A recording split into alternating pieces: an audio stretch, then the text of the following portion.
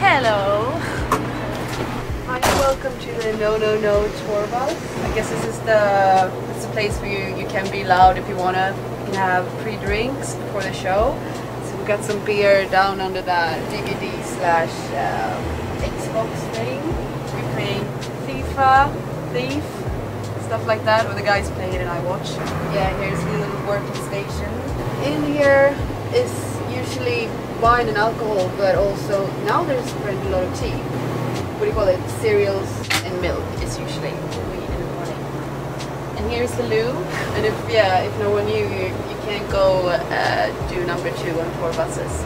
So this is only for peeing, and we don't have a shower. So a lot of our touring is about trying to find a toilet and a shower.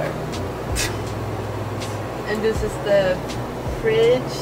I drink a lot of water, but also what I do, and the, guys drink a lot of uh, beer, and this I also drink a lot, and it's really really awful. It's like a, you mix this and this and this, and it turns into some sort of power, boost your immune system, never be sick, feel really good all the time. So that stuff is good to have with you, so you take care of yourself and your health and voice.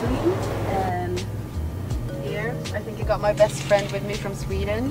She's in here watching girls just want to have fun. Very good to have a friend video on tour. And then, yeah, we have got a working tour manager over there.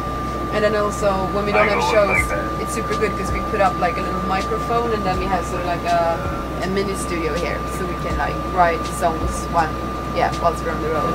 And yeah, and you get ready or I get ready, do makeup and stuff before shows and get all the clothes and those little yeah, I usually wear black, maybe something like that and then something like that as long as it's black and quite short it goes. I think I hang out here quite a lot. This is the more quiet area.